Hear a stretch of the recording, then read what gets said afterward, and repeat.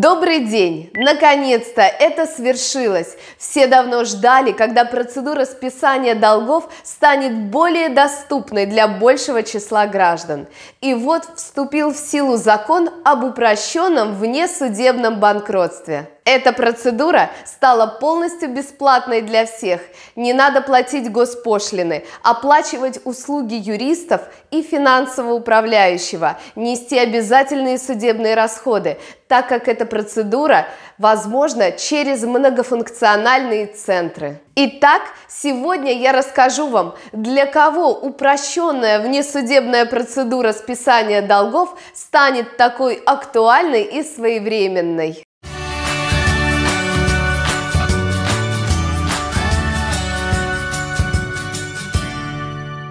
Несмотря на то, что в теории упрощенное банкротство выглядит достаточно заманчиво, а почему бы и не списать все свои долги и не обращаться при этом ни в суд, ни к финансовому управляющему и никому ничего за это не платить? Однако на практике на сайте ЕФРСБ, который фиксирует заявления которые подали граждане на внесудебное банкротство, более 70% отказов потенциальным банкротам. Почему? Согласно информации с сайта ЕФРСБ, основной причиной отказов является то, что на момент проверки в отношении потенциального банкрота отсутствуют сведения об окончании исполнительных производств.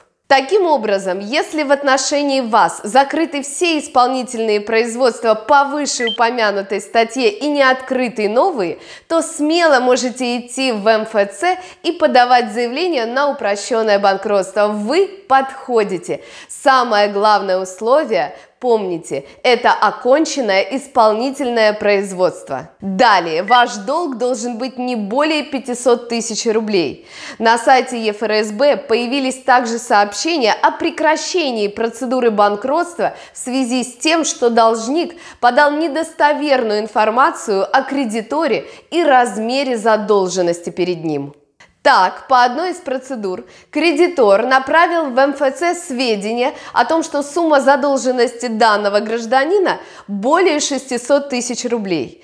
И МФЦ прекратил процедуру в связи с тем, что гражданин не подходит по критериям на упрощенное банкротство. Вы также можете работать, и при этом размер дохода не имеет значения. Это, безусловно, плюс. Однако важно помнить, что судебный пристав-исполнитель не сможет окончить исполнительное производство, если у вас есть официальная заработная плата или пенсия. И, наконец, у вас не должно быть имущества, оформленного на ваше имя, так как кредиторов наделили правом делать запросы в различные государственные и регистрационные органы с целью выявления этого имущества. И если выяснится, что на вас оформлена машина или вторая недвижимость, то кредитор направит эти сведения в МФЦ, а МФЦ, соответственно, прекратит вашу процедуру упрощенного банкротства.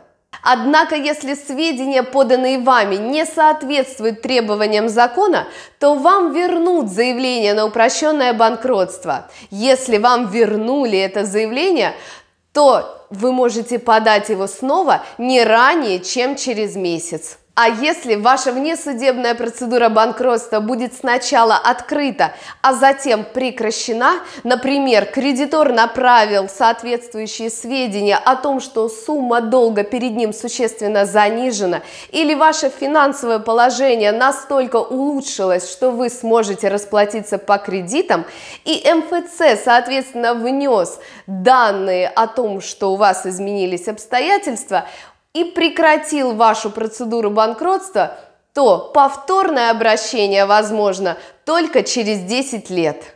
Помните, что вас не освободят от тех долгов, которые вы не указали в своем заявлении на упрощенное банкротство, в отличие от стандартной процедуры банкротства, где списываются все долги, как заявленные, так и незаявленные. Итак, подведя итог вышесказанному, потенциальный банкрот должен соответствовать следующим критериям. В отношении него должно быть окончено все исполнительное производство и не открыто новое. Максимальная сумма долга может быть до 500 тысяч рублей, а также на вас не должно быть зарегистрировано никакого имущества.